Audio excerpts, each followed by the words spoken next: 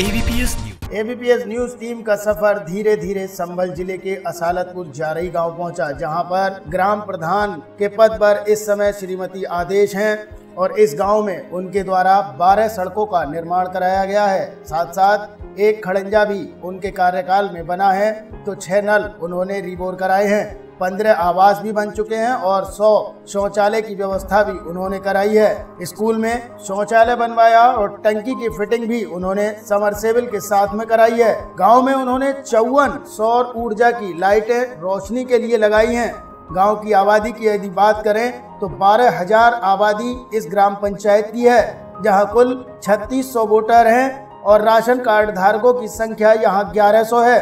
साथ ही 400 परिवार ऐसे भी हैं जिन्हें अब तक राशन कार्ड मुहैया नहीं हो पाए हैं। स्कूल की अगर बात करें तो यहाँ की स्थिति अन्य गाँव से कुछ अच्छी दिखाई दी, क्योंकि प्राथमिक विद्यालय में यहाँ पर 200 छात्र छात्राएँ पंजीकृत मिले तो वहीं जूनियर हाई स्कूल में नब्बे केंद्र और राज्य सरकार से अपने गाँव के विकास के लिए मांग पर उन्होंने कहा कि उन्हें अभी सड़कों का निर्माण कराना है। 150 आवास भी उनको अभी चाहिए। साथ साथ यहाँ सफ़ाई कर्मचारियों की व्यवस्था भी आबादी के हिसाब से नहीं है तो कम से कम तीन सफ़ाई के कर्मचारी भी अभी गाँव के लिए आवश्यक है। शमशान घाट के विषय में उन्होंने बताया कि हमारे यहाँ शमशान घाट की समस्या है। शमशान घाट भी बनवाना है। इसके अलावा खेल का मैदान भी उनकी प्राथमिकताओं में दिखाई दिया। उन्होंने कहा कि हमारे गाँव में एक तो पानी की टंकी की सबसे ज़्यादा आवश्यकता है क्योंकि आबादी अधिक होने के कारण और पानी ठीक न होने की वजह से यदि एक टंकी का निर्माण हो जाए तो गाँव के लोगों को साफ़ सुथरा पानी मिलना शुरू हो जाएगा।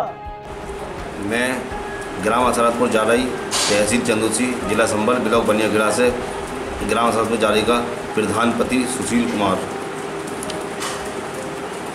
मेरे गाँव में चौवन सौर ऊर्जा मैंने लगवा दी हैं और छः नल रिवोल करा दिए हैं और छः नल मैंने रिवोल करा दिए हैं। गाँव में सीसी टाइल्स का निर्माण भी बहुत अच्छा अच्छा कराया है। खरंजा भी करवाए हैं और नाले भी बन एक दो दो नाले भी मैं, मैंने बनवाए हैं। और हमारे गाँव में लगभग चार हज़ार वोट हैं। चार हज़ार वोटों के हिसाब से हमारे गाँव में धनराशि के हिसाब से धनराशि बहुत कम आती है। मैं राज्य सरकार से और केंद्र सरकार से यही बात कहना चाहता हूँ कि जितना गाँव में जितना पैसा अगर आप सरकार भेजेगी, उतना ही अच्छा अच्छा अच्छा काम होगा, विकास होगा। और मैं एक बात ये कहना चाहता हूँ, हमारा जो गाँव है, शहर से बिल्कुल नज़दीक है, उस हिसाब से पैसा भी बहुत कमा लिया है। और जो लेटरिन लेट जो लेटरिन सरकार ने भेजी है उस हिसाब से काम भी बहुत धीमा है। क्योंकि और पास के हमारे जो गाँव हैं वो तो ओ लगभग हो ही चुके हैं। हमारे गाँव में में लगभग सौ, के आसपास शौचालय आए हैं। लेकिन मेरी एक रिक्वेस्ट ये है कि जब शौचालय का पैसा सरकार भेजती है तो लाभार्थी खातों में आ जाता है।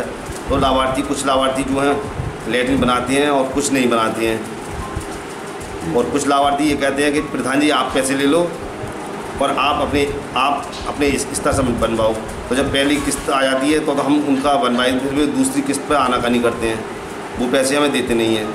फिर वो स, वो शिकायत वगैरह करते हैं फिर अधिकारी लोग हमें हमारे लिए परेशान करते हैं।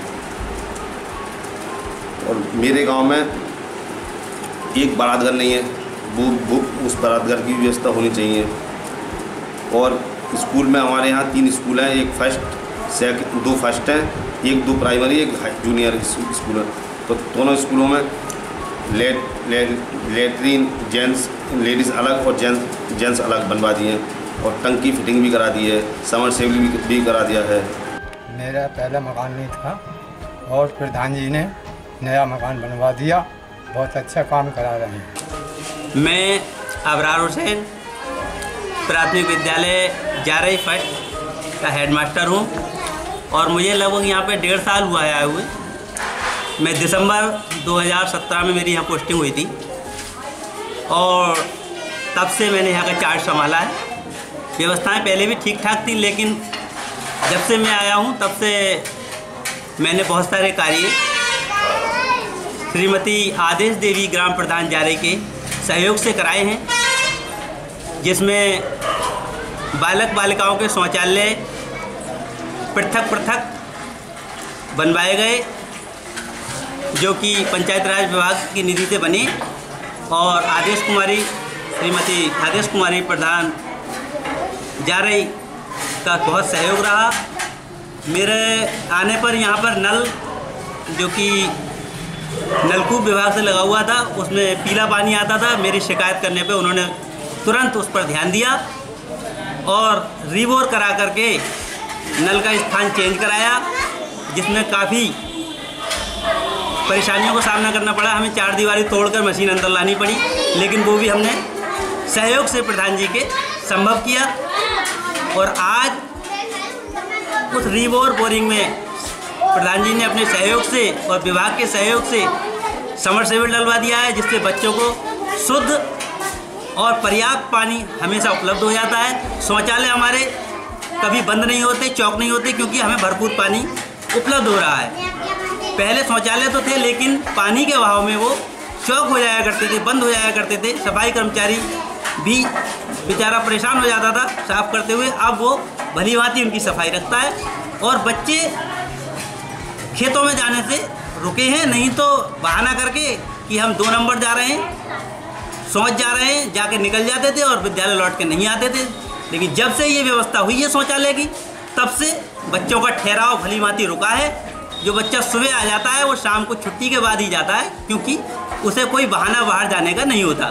खाना खाने के लिए एमडीएम है शौचालय है शौच करने के लिए वो क्यों जाएगा आपको? तो मैं उनका बहुत तहे दिल से शुक्रगुजार हूँ आभारी हूँ कि हमारी प्रधान जैसी प्रधान सभी की हों और ख़ास तौर से उन, उनका बच्चों पर और विद्यालय पर फोकस रहता है। और वो समय समय पर आगे हमसे हमारी समस्याएँ पूछते भी हैं। प्रधानपति और प्रधान दोनों ही लोग इस कार्य को भली भांति निभा रहे हैं। मैं उनका बहुत बहुत शुक्रगुजार हूँ।